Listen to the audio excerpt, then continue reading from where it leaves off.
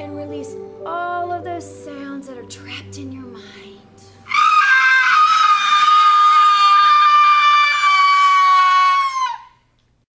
Sir, are you okay? I'm a little messed up.